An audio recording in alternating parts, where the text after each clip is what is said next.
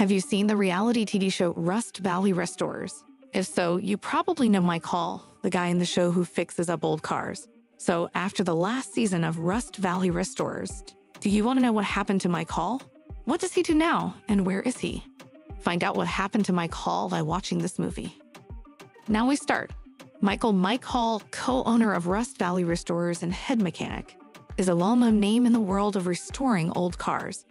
Since the 1990s, his work has been known all over the world because of his love for bringing old cars back to life. In 2018, the TV show Rust Valley Restorers was made.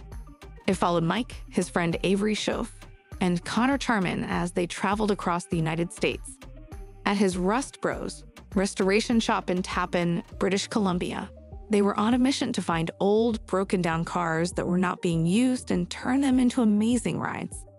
But his path to success was not always easy, and he had trouble finding buyers for his repaired cars because not everyone saw the beauty in these old cars after they had been fixed up.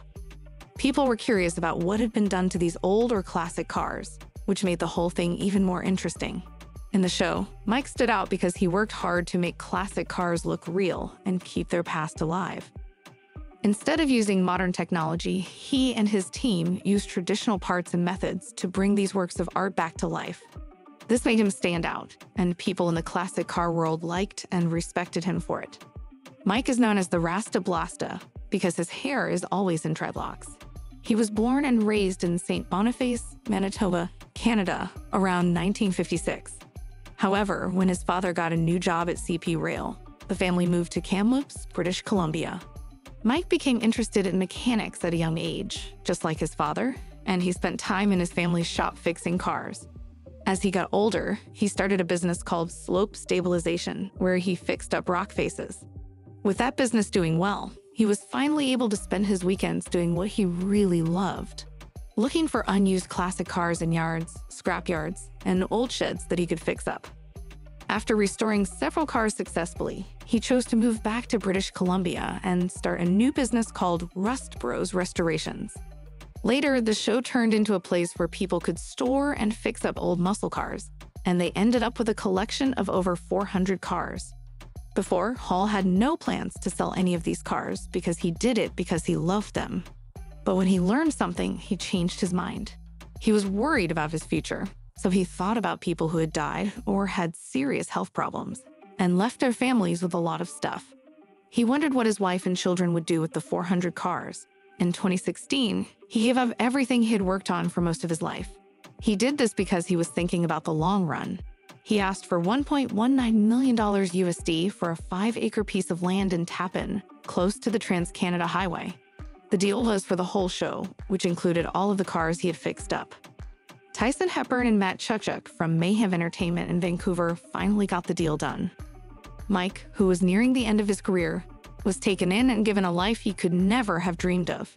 He also became known all over the world and earned a fan base that has grown by leaps and bounds in the four years since the show started and shows no signs of stopping. Mike talked about saying goodbye to his collection. Basically, I have mixed feelings, he said. I knew it would make my life easier, but I was sad that they were all leaving. But if they go to good homes and are used, I've done my job, since many of these cars wouldn't be here if I hadn't brought them here. He also said, This has been my interest for the last 30 to 40 years. I don't remember people's names or where I put my car keys, but I do remember things about cars. He then said, I've quit many things cold turkey, but cars are the hardest habit I've had to break. In an interview, he was asked what his plans were for retiring and making more movies. He said that he was always making movies. COVID 19 Cut Season 3 is short, even though he said that he is looking forward to taking a break and going on a trip. Mike said about Season 5 We've been shooting for almost three years straight. I'd like to take a break, but you never know what's going to happen next. Mike felt like he couldn't go on like this. How you feel about Mike Hall? Do you think you should keep making movies and follow his heart? Leave a comment below and sign up to get more.